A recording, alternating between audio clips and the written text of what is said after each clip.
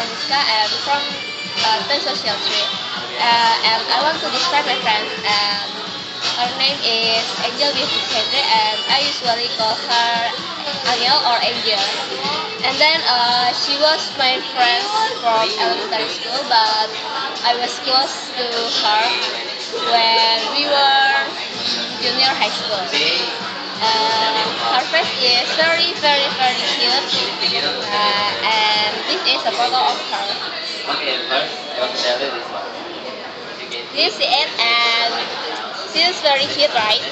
Uh, and then, um, but she's very, uh, but she's very skinny. It's not very Uh, she has uh, squinty eyes, and her, her hair is curly. Um, and her hobby is drawing manga characters, and I like the manga characters. Okay, see you. Bye, guys.